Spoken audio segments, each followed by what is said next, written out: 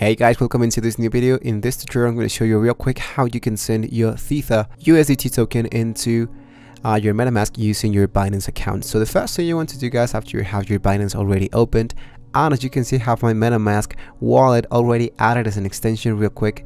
It's above in here. Let's go ahead and go into wallet and go into fiat and spot.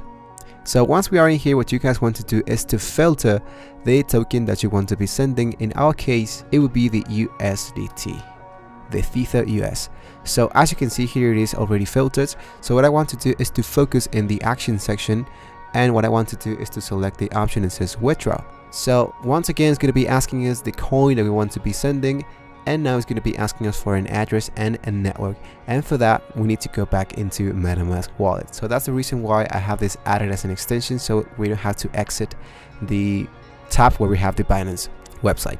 So once we are in here, what you guys want to do is to select the network. It has to be exactly the same network into Binance. So if I select Ether, I'm going to copy this address into my clipboard. I'm going to paste it right in here.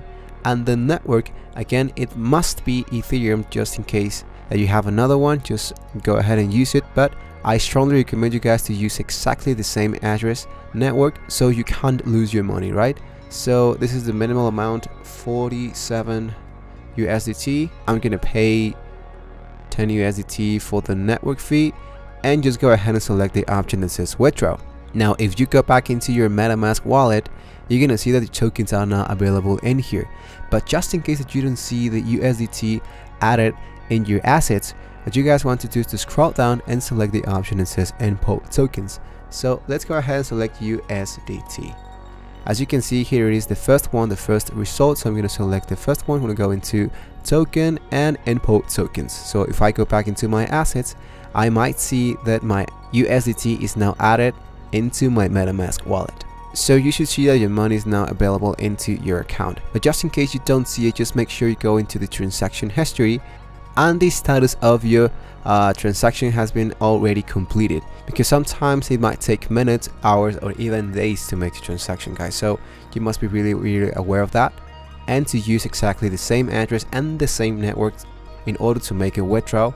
Otherwise you might lose your money. So be really really careful for that guys. So there you have it guys. Don't forget to like and subscribe to the channel if you want to see more about Binance or MetaMask. Thank you for watching the video and I'll see you guys on the next one